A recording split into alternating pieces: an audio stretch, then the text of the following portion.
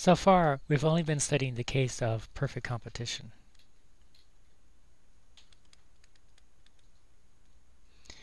in which the firm thought it couldn't affect price.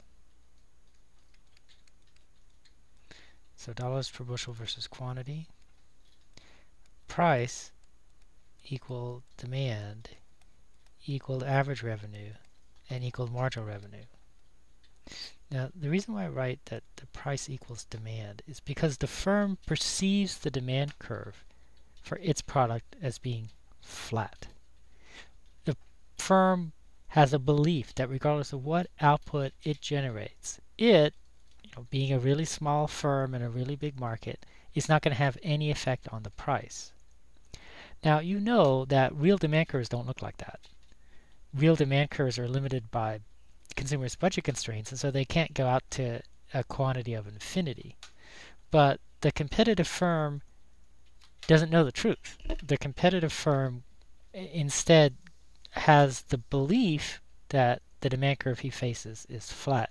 And it's going to turn out that in equilibrium, he never finds out anything different. So it's a counterfactual belief that the firm has that the demand curve is flat. We now want to consider imperfect competition.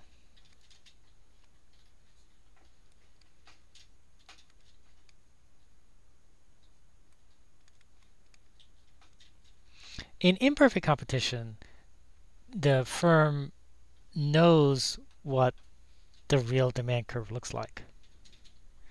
And therefore,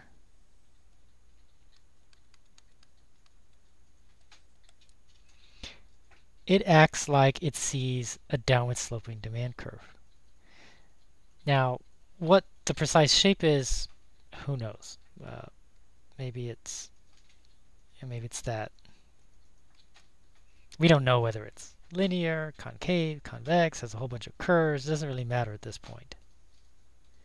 But I want to discuss what this implies for average revenue and marginal revenue, and for that matter, even for total revenue. For competition, remember, total revenue is really simple. For competition, total revenue just looked like that. It was a straight line coming from the origin. So how about imperfect competition? Well, the first result is going to be such an important one, I'm going to type it up.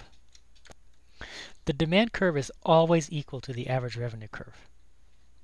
The word always means, I don't care if you're talking about competition or imperfect competition. The demand curve is always equal to the average revenue curve. Let's see why.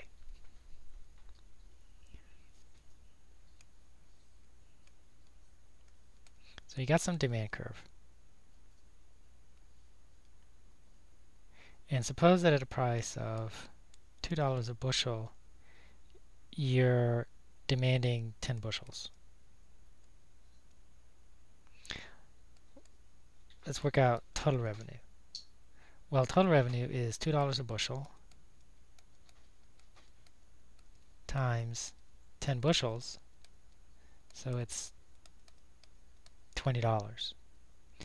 Average revenue is how much money you're making on average for the 20 bushels.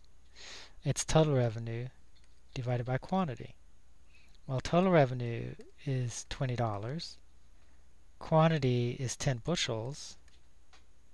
So it's $2 per bushel, which is the same as the point in the demand curve. So the demand curve always tells you what the average revenue is. Therefore, in the imperfect competition graph, I can label demand equal to average revenue because demand is always equal to average revenue. Now that's true in competition as well. Demand equals average revenue. Now let's go back to imperfect competition, trying to get marginal revenue. Remember the rule that if average is falling, marginal is below it. So average is falling here. Average revenue is falling under imperfect competition. So marginal is below it. That tells you where marginal revenue is. Now, marginal revenue might be rising, might be falling or rising. You don't really know what it's doing. I just drew it pretty weird. It's not going to be that weird in general. But marginal revenue is definitely going to be below average revenue, so below the demand curve. What would total revenue look like? Let me draw the this demand curve again. Again, we're we're just talking about imperfect competition now.